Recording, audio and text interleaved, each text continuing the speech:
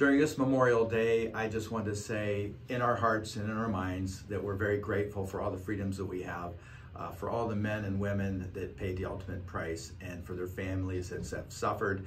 We hope that during this time of respect and remembrance, uh, we are very grateful.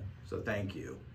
Uh, today we wanted to talk a little bit about the veterans and the benefits of home buying and ways to help the veteran or the veteran family to get some benefits here. So Dom, go ahead and tell us what you know about the veteran loan. Yeah, just if we're looking back on some history of just veteran loans and how the government backs them, the government has backed 21 million veteran loans over the past wow. years.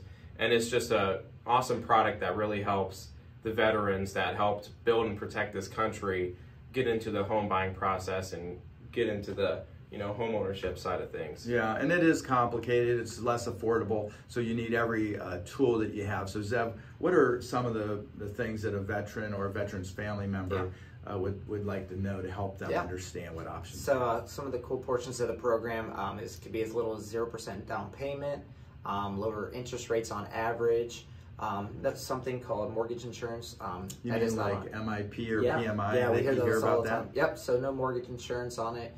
And you know, even not that we ever want to be in the scenario where foreclosure could happen, but they have a tendency to work much more with the, the VA program loans they have to a, solve the problem. A veteran avoidance for yeah. foreclosure, um, which is nice because all the um, the price that was paid uh, for us to have the freedoms to even have this conversation today, uh, we're very very grateful uh, for you and your families and loved ones. Um, if you have any questions or concerns, you want to try to understand more about this, if it's interesting to you, uh, feel free to call Dom at.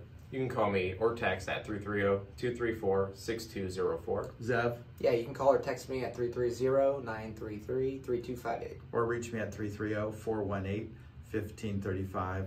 Uh, have a wonderful, blessed day.